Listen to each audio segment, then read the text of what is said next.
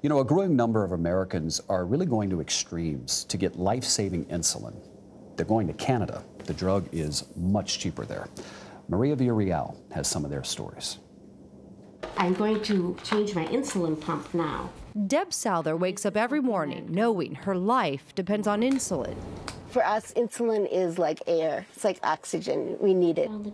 Even with insurance, Deb says it costs more than $750 a month for the three vials she goes through. So early last Friday morning, she joined about a dozen other diabetics on a bus heading from Minneapolis to Canada, where insulin costs about 90% less than at home.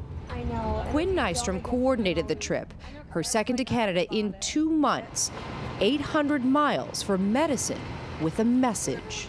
It has become a life and death situation for a lot of people, hasn't it? Correct. People are dying because they cannot afford insulin, and it only costs these companies three to six dollars to manufacture a vial of insulin. They chose London, Ontario because it's where insulin was developed nearly a century ago. The drug is cheaper in Canada primarily because the country has universal health care. The government negotiates costs and is allowed by law to cap prices. In the U.S., insurance companies make individual deals with drug makers, and the uninsured pay market price. Three companies make insulin. All say they offer patient assistance programs. In a statement, Novo Nordisk told CBS News, We recognize that our healthcare system is broken, adding, We know more must be done to ensure insulin affordability, and we are committed to being part of the solution.